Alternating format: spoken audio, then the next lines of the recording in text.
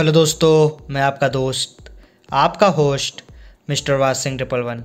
गाय जैसे कि आपने मेरी पिछली वीडियो में देखा होगा कि मैंने एंड्रॉयड कस्टम रोम से रिलेटेड पहला वीडियो डाला था, जिसमें मैंने बताया था कि आपको एक फ़ोन से अगर आप स्टार्ट कर रहे हो किसी कस्टम रोम का बिल्ड करना या पोर्टिंग करना तो आपको क्या क्या ज़रूरी है?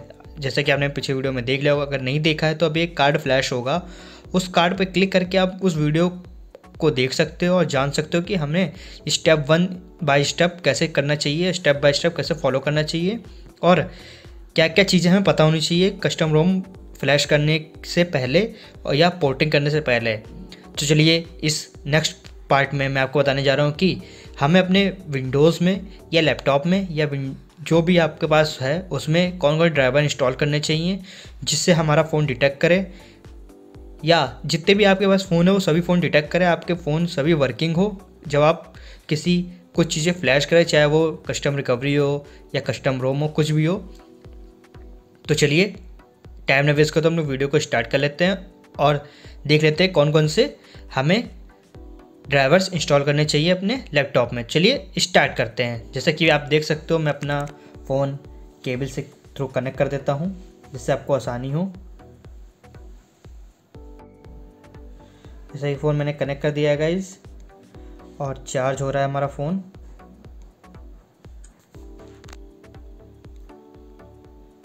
और फ़ोन जैसे आप कनेक्ट कर लो तो आपको यू डिबगिंग ऑन करना है और आपको इसको डिवाइस को लगाना है ट्रांसफ़र फ़ाइल पे. साथ ही साथ डिबगिंग कैसे ऑन होगी? आप जाइए अबाउट फ़ोन में जाइए. और जो आपका मॉडल नंबर है, मे वर्जन उस पर क्लिक करिए।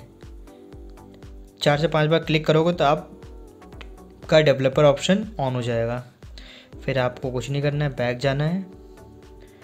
एडिशनल सेटिंग्स में जाइए। यहाँ पे आपको डेवलपर ऑप्शन देखने को मिल जाएगा। जैसे कि ये रहा। और मेरा पहले से ऑन है। और मैं ओ एम अनलॉकिंग को ऑन कर देता हूँ। इसकी जिसके थ्रू मैं अपना बूट लोडर अनलॉक कर सकता हूँ और उसके बाद मैं अपना प्रोसेस स्टार्ट कर सकता हूँ सभी का। जैसे कि आप देख सकते हो, सारी चीज़ें ऑन हैं। चलते हैं हम अपनी स्क्रीन की तरफ़। तो गाइज़ हम लोग अपनी स्क्रीन की तरफ़ वापस आ चुके हैं और जैसे कि आप देख सकते हो, मैंने आप पहले से सारे फोल्डर में मैंने सारे ड्राइवर डाल दिए हैं। कौन कौन ड्राइवर आपको चाहिए, कौन कौन से ड्राइवर यूज़ करने हैं। अगर आपसे कोई भी गलत ड्राइवर इंस्टॉल हो जाते हैं तो आप इसकी मदद से सारे ड्राइवर्स को हटा सकते हो। कैसे हटाओगे? इसे मेरा यहाँ पे इंस्टॉल्ड है। इसको रन एज एडमिनिस्ट्रेटर करिएगा आप। बस, जो भी आपको ड्राइवर हटाने हैं, जैसे रेडमी नोट फोर का ये है, इसको आप राइट क्लिक करके अनइंस्टॉल कर सकते हो बड़े आसान तरीके से। और आपका ड्राइवर हट जाएगा, फिर से आप इंस्टॉल कर सकते हो। जब भी आप कनेक्ट करो फ़ोन को फ़ोन को जैसे आप कनेक्ट करोगे तो ऑटो स्टार्ट फ़र्स्ट टाइम ये ऑटोमेटिक ड्राइवर इंस्टॉल करेगा, उसको इंस्टॉल होने दीजिएगा। उसमें आप छेड़छाड़ी मत करिएगा। ये जब ऑटोमेटिकली सारे ड्राइवर इंस्टॉल कर लेगा खुद से, आपको कुछ करने की ज़रूरत नहीं पड़ेगी। और आप आराम से ड्राइवर्स का मज़ा उठा पाओगे और आपका फ़ोन तुरंत तुरंत कनेक्ट होगा और किसी में कोई प्रॉब्लम नहीं आएगी। और जैसे ड्राइवर से आप देख सकते हो, कौन कौन ड्राइवर है? ए ड्राइवर इंस्टॉलर है ए सेटअप है काली इमेज किचन है, जो कि आप इमेज फ़ाइल को चेंज कर सकते हो अपनी, जिसे दूसरी डिवाइस में पोर्ट करना चाहो तो पोर्ट कर सकते हो उसके थ्रू अनलॉक टूल है, जिससे हम अपना ओएम अनलॉक करेंगे लाइक बूट लोडर अनलॉक करेंगे अपने फ़ोन का। ये फ्लैश सेटअप है मी का, कि अगर हमारा फ़ोन कुछ ब्रेक हो जाता है सॉफ्ट ब्रेक हो जाता है तो हम लोग अपना कस्टम रोम या फिर तो फिर हम अपना स्टॉक फ्लैश फ़ाइल को फ्लैश कर सकते हैं बहुत आसान तरीके से। यह minimal A D B and fastboot drive device है।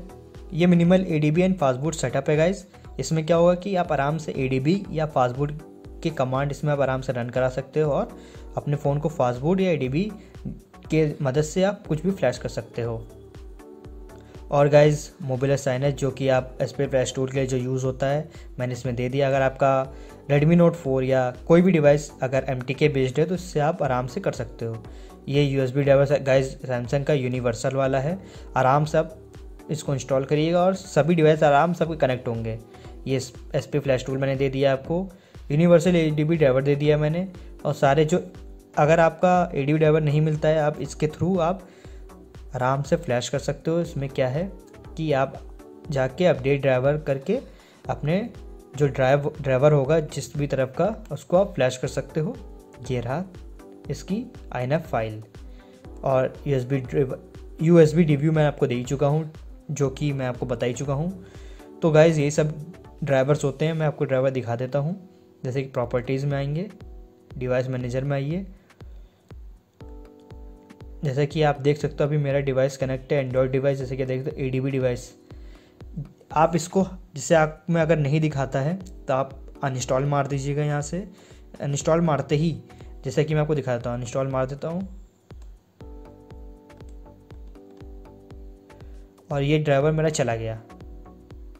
अब मैं दोबारा कनेक्ट डिसकनेक्ट करूँगा। और फ़ोन ऑटोमेटिकली ड्राइवर इंस्टॉल करेगा। जैसे कि आप देख सकते हो स्क्रीन पर आपको दिख रहा होगा।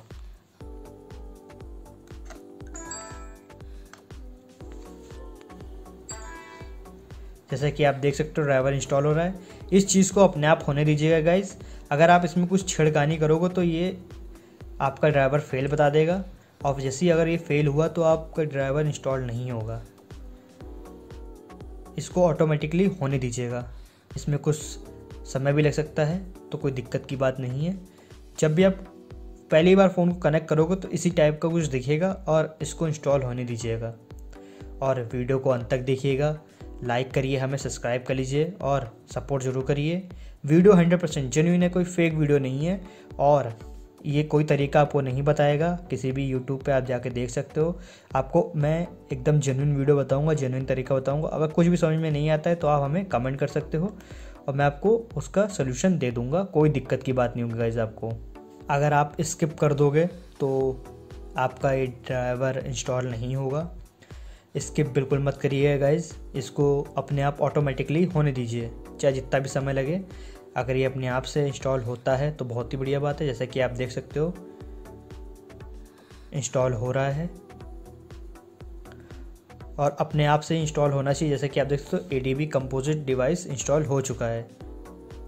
तो गाइज़ अब मैं क्या करता हूँ? तो गाइज़ अब मैं क्या करता हूँ कि अपने फ़ोन पे वापस आता हूँ और फ़ोन को मैं डालता हूँ अपने अब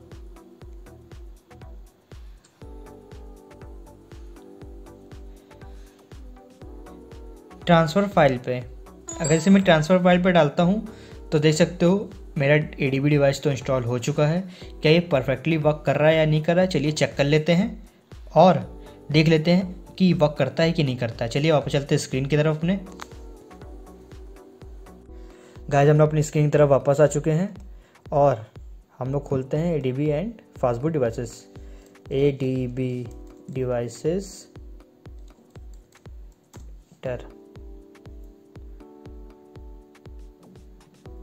जैसा कि आप देख सकते हो, हमारा परफेक्टली डिवाइस काम कर रहा है और हमारा डिवाइस डिटेक्ट भी हो चुका है।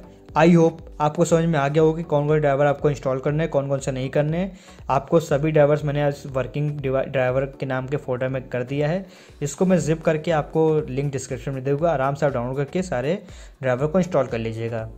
आई होप आपको वीडियो पसंद आएगा। वीडियो पसंद आए तो लाइक करिए शेयर करिए सपोर्ट जो करिए। So thank you for watching this video mister रासिंग triple one supporters